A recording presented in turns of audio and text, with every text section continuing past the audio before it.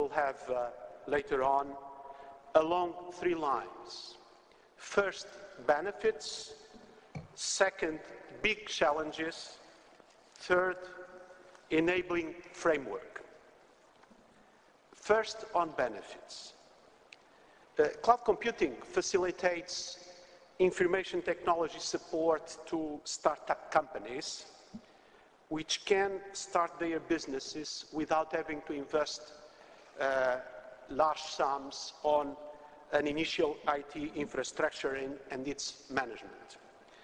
Uh, sustainability of this infrastructure is also a, a cost that uh, uh frequently difficult entry in market.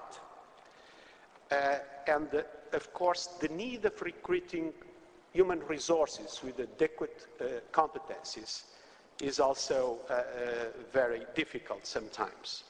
In this way, cloud computing decreases the barriers to entry for new businesses. So it can contribute to uh, speed up innovation and to enable innovative enterprise in locations where there is insufficient supply of uh, human resources with the necessary qualifications. Of course, provided, and this is a big provided, there is sufficient and reliable broadband. Well, for mature organizations, businesses, NGOs, or government, public universities, hospitals, etc., uh, the promises of cloud computing are reduction of IT costs and rationalization of certain supporting uh, services by economies of scale, such as reliable security of IT resources and uh, uh, more efficient data center uh, share of costs. Uh, as an analogy, I could say that cloud computing is today for IT what one century ago for electricity was its provision as an utility instead of requiring a new enterprise that needs electric, electrical supply to build its own power plant and to run it. Uh, so the idea is that they could just plug on the util utility and this sense you can be provided with services without having to have them run in your own uh, enterprise.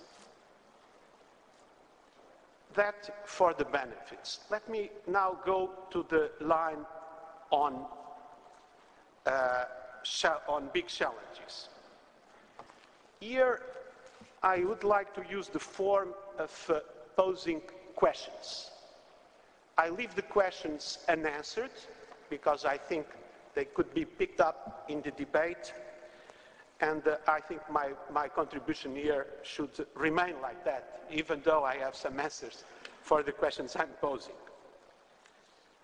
The first is uh, there a risk of market dominance by the most powerful IT companies as it has happened, in fact, for other utilities before?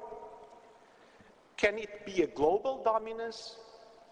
May it further amplify inequalities of wealth distribution in the world?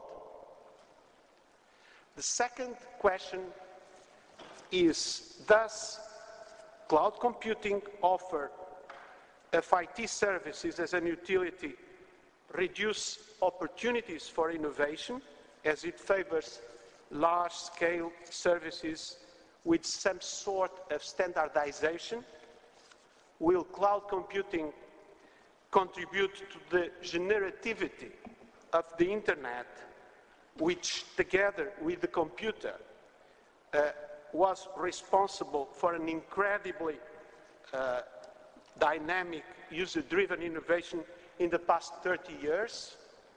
Or will it actually reduce internet generativity? And the third is what are the effects of cloud computing regarding digital divide questions. As cloud computing services require broadband of considerable speed, will we assist to a situation where the main factor of digital divide will become the lack of high-speed broadband infrastructure? What would be the consequences for developing countries and other deprived regions? What policies could mitigate the negative effects? Usually, the introduction of powerful communication technologies reinforce the competitive advantages of attraction of precisely the most uh, uh, already strong centers. And the best policy to compensate this is to foster the very same technologies in the more deprived regions. So the question is, what should be the policies to foster broadband infrastructure and cloud computing capacity in developing countries and the uh, most deprived regions? Well, I announced that uh, uh, the third uh, line of thread would be on enabling frameworks. I'll be very short on this because this is the kind of thing that uh, most of the people have already talked about. Uh, uh, like any enabling technology, uh, this one brings uh, new problems, and in this case, with a considerable complexity due to the internet global nature.